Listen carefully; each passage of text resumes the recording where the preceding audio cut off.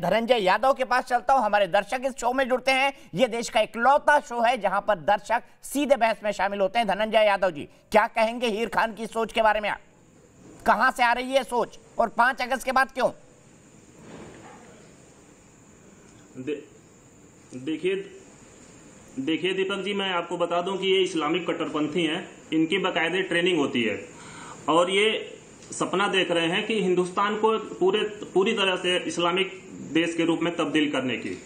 तो इस इनके पीछे पूरा एकदम से पूरा काम हो रहा है। इसके पीछे खुफिया एजेंसियाँ लगी हुई हैं और आईएसआई का पूरा इस, इसके पीछे फंडिंग हो रही है और ये जो इस्लामिक जो देश हैं उनकी उनकी उनकी तो पूरी तरह से फंडिंग है इनके पीछे। और जाकिर नायक जैसे लोग इनके रहनुमा हैं वही पूरी तरह से मतलब कि इनका सहयोग इनका कर रहे हैं, इनका पीछे से इनको बैकअप दे रहे हैं। तभी ये ऐसा जहर उगल रही है। नहीं तो अभी जो प्रयागराज में ये हिंदू देवी देवताओं के खिलाफ बोली, उसके कुछ नहीं हुआ। लेकिन अगर अभी पैगंबर के खिलाफ हम अगर कुछ ऐसा कार्टून या कुछ ऐसा कुछ बना देते हैं तो पूरा देश जलने लगता है। पूरा, पूरे देश में आग लग जाती है। ठीक है।